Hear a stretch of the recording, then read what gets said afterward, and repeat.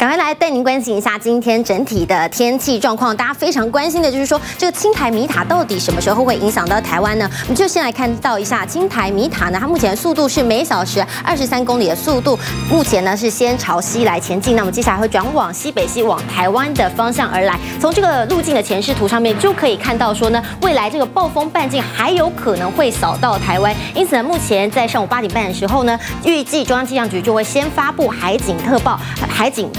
先发布海景，那么呢，在接下来可能在明天晚上的时候呢，还可能会进一步的来发布路警。那么接下来就关心一下，这接下来这一段时间累积雨量状况是怎么样子呢？我们可以看到呢，这个雨量大概都是集中在北部以及东部的部分呢，也就是说呢，这个天气状况并不是因为青苔所造成的，而是因为呢，这个东。方海面上水汽比较多，而目前呢，在这个东北风吹下来，迎风面的部分呢，水汽也是比较多的，因此可以看到呢，累积雨量呢，主要就是集中在宜兰地区的雨势是比较多一些的，因此呢，中央气象局也是持续的来发布大雨特报。我们就来看到呢，有哪一些范围呢？包含了基隆、双北以及宜兰，还有花莲都发布了是在豪雨特报的范围当中。那么桃园的部分呢，也要严防大雨。再关心到的是今天一整天的天气状况，北部地区呢，降雨几率百分之。四十，那么气温的部分普普通通，大概二十三度到三十度之间。那么中南部地区呢，天气是会好一些的，天气状况比较稳定，比较不会下雨，但是一样要严防午后雷阵雨发生的可能，降雨几率百分之二十，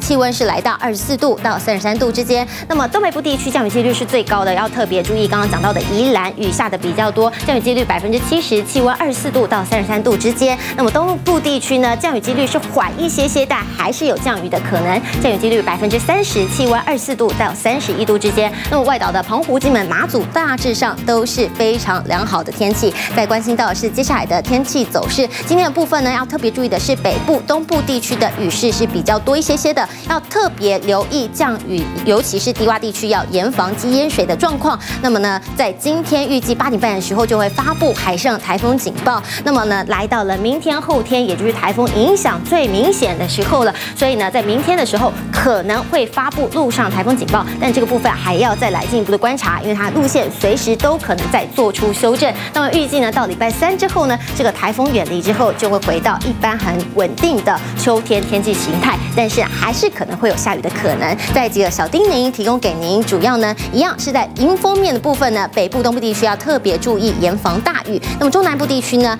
可能会有午后雷阵雨的发生，但是大致上白天的天气还算是稳定。不过要特别注意的是，高频地区呢，它空气品质是比较差的，出门在外可能要戴个口罩会比较好一些。那么明天开始就要特别注意台风的发生。以上是这一节的气象资讯。